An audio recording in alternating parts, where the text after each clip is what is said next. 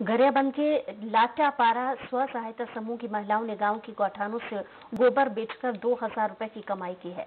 कुछ समय पहले तक वही गोबर गाँव में गंदगी फैलाने के नाम से जाना जाता था। अब वही गोबर गाँव की महिलाओं के लिए कमाई का ज़रिया बन गया है।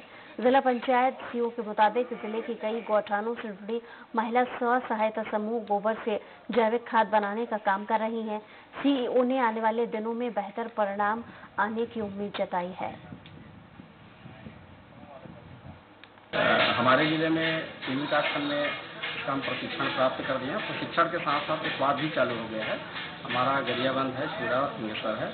इसमें हम जो है ब्रह्मास्त्र है निमास्त्र है और और भी जो ये है, इसका जो गौमूत्र का है और गोबर का है, उसका बनाना शुरू हो गया, जो हमारा जैविक खाद के लिए बहुत उपयोग